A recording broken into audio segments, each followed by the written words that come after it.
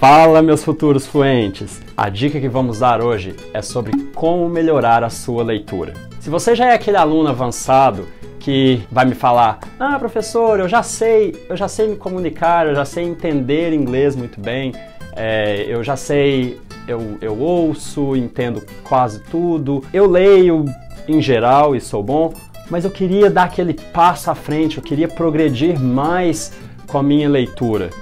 O que, que você pode fazer para que isso aconteça. Então eu separei hoje algumas dicas que com certeza vão te ajudar a ler mais rápido e ler com mais fluência. Let's go? Então a primeira dica que eu vou dar a vocês é Focus on what you read.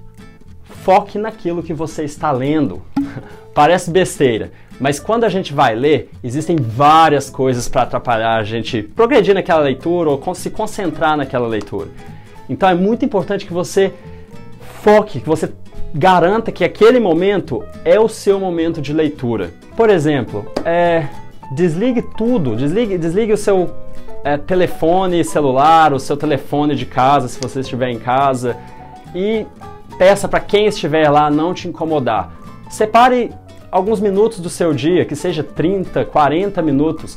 Aquele horário vai ser específico para leitura.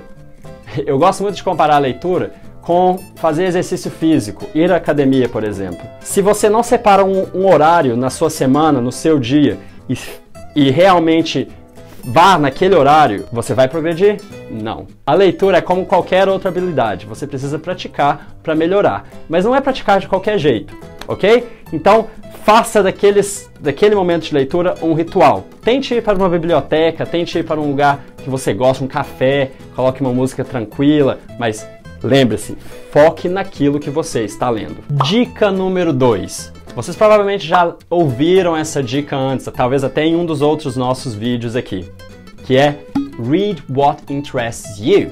Leia aquilo que te interessa. Se você não gosta de ficção científica, por que você vai ler ficção científica? Procure alguma coisa que te interessa. Se você gosta de notícias, se você gosta de é, política, se você gosta de meio ambiente, horóscopo. É, até ler horóscopo é interessante. Né? Qualquer coisa que te interessa. Existe uma infinidade de textos aí para você escolher. Eu te garanto que se você escolher alguma coisa que você se interessa, aquela leitura vai ser muito mais agradável e aquele momento que você tinha separado na dica anterior vai se tornar aquela hora que você está doido para chegar.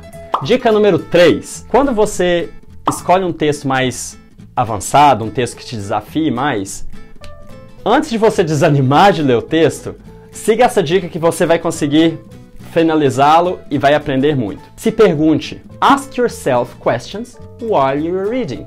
Então se pergunte, se faça perguntas enquanto você está lendo o texto. Isso vai te ajudar a trazer informação que você já tem, enxergar aquelas que você ainda não tem e tem que trabalhar em cima. Eu separei para vocês aqui algumas perguntas que vocês podem fazer a vocês, a vocês mesmos antes de ler e depois de ler. Vamos lá? Então, antes de você ler, observe se no texto existe aquelas palavrinhas em destaque, existe palavras em negrito, aquelas que estão mais forte, existe palavras sublinhadas, existe alguma legenda, alguma foto, observe esses sinais, eles são ótimos para te trazer aquele conhecimento que já está ali e vai te ajudar a entender o, o conteúdo inteiro muito mais fácil. Agora, algumas coisas que você pode se perguntar depois de ler o texto.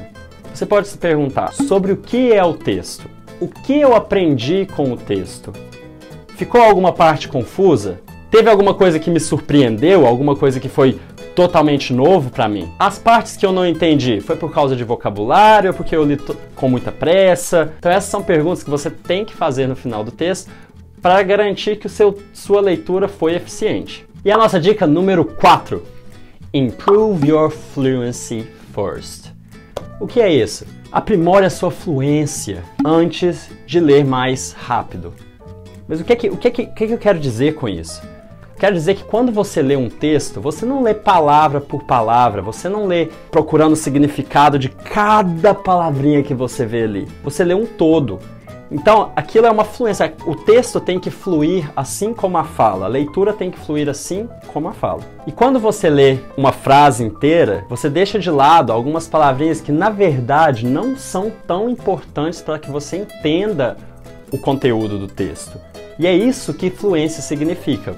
Quando você lê mais rápido e você consegue passar o olho sobre uma ou duas frases e entender aquele conteúdo sem se prender a pequenas palavras, você está se tornando fluente também na leitura. Ah, Bem, pessoal, eu espero que vocês tenham curtido essas quatro dicas que eu dei para vocês. E se vocês realmente gostaram, e mesmo se vocês não tiverem gostado muito, dê um like aqui no nosso vídeo. Não se esqueça de se inscrever no nosso canal, ativar o sininho para receber notificações e até o próximo vídeo. Bye bye!